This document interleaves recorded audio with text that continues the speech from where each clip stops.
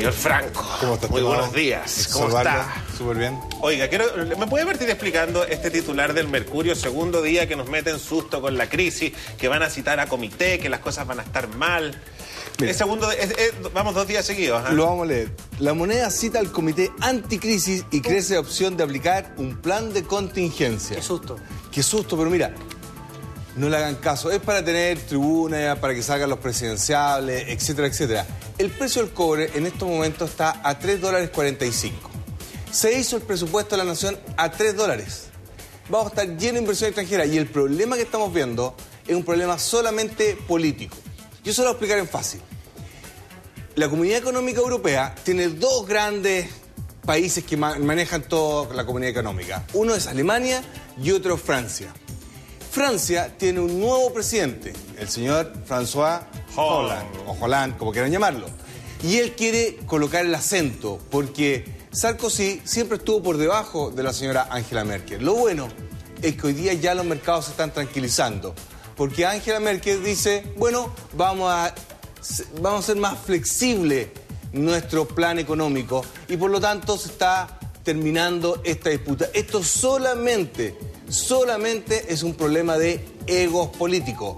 Lo que vamos a ver de aquí a dos semanas es que de nuevo el precio del cobre va a estar sobre los 3 dólares 50 y el dólar, por supuesto, que va a caer. De hecho, ya está cayendo en Europa, producto que es un problema solamente de quién manda el buque de la Comunidad Económica Europea. Ahora, Franco, eh, yo no sé si nos mal acostumbramos, donde te escucho hablar del precio del cobre, se toma una comparación de lo que se había ganado el año pasado y se tira una cifra que en rigor es preocupante, se dice 40% menos de utilidad eh, a raíz del precio del cobre. De hecho, renunció el presidente de, de Codelco. No necesariamente son noticias que están conectadas, pero es curioso porque es como si el país solo funcionara a precios exorbitantes del cobre y eso no es tan así, ¿no? ya es un precio exorbitante. Cualquier precio sobre los 2 dólares 50, lo dije bien, 2 dólares 50 es un precio exorbitante. Mira, un solo punto. El costo de producción de una libra de cobre en la mina más mala de Chile, sacando a, al El Salvador, es de 1 dólar punto 6. Es decir, por cada libra de cobre se ganan 2 dólares. Bueno, ayer hubo un cónclave de empresarios que se llamaba Estamos remando todos para el mismo lado, donde aparecían empresarios diciendo que si este ajuste económico de un 20% iba a afectar a las empresas, principalmente a las mineras, que la inversión minera no iba a ser tal en Chile. Eso va a afectar finalmente nuestra economía si el cobre es tan importante para nuestro Te lo país. digo fuerte y claro, subir 2%, en realidad es 1,5% en impuesto a las utilidades es tendiente a cero para las mineras. ¿Por qué? Porque ellos se van a endeudar y por lo tanto la recaudación va a ser mínima minimorum. Por lo tanto, no es así. Lo que pasa es que, que siempre andan defendiendo querer más, más, más, más.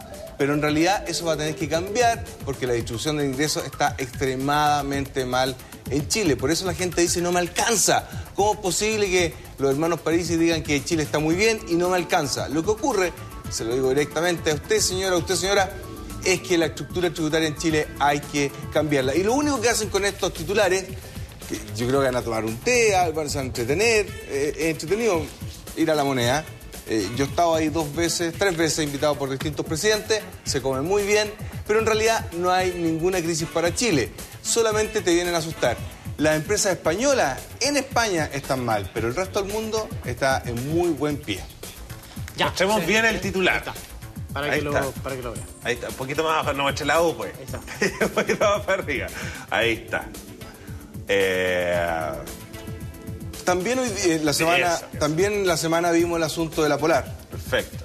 La pregunta es, Pato, ¿se irá a repetir el caso de la Polar en el futuro con otro nombre? La respuesta es sí. Oh, O se está repitiendo en este momento.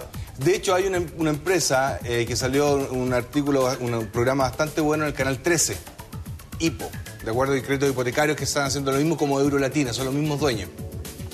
Señora, señor, si usted quiere que nunca más se repita lo que ocurrió con el caso de la Polar, ya sea en su caso, el, el caso de un amigo, algún pariente, se necesitan dos cosas en Chile. La primera, una ley de quiebra a las personas. Una ley de quiebra a las ¿Qué es lo que personas. una ley de quiebra a las personas? Es decir, que tú dices, yo no soy capaz de pagar este crédito en estas condiciones. Ya, ¿y qué Renegociemos en buenos términos. ¿Qué es lo que es renegociar en buenos términos? Renegociar en buenos términos es que vaya un agente del gobierno acompañándote. El problema que tenemos ahora es que si tú no puedes pagar, la contraparte, el que te quiere cobrar, te puede pedir lo que sea. Te puede pedir una córnea, el riñón, etcétera. Perfecto. Y el tipo, como está desesperado para no estar en DICOP, para no tener problemas, firma cualquier cosa. ¿Y tú crees que hay ánimos políticos de hacer una ley de quiebra de personas? No.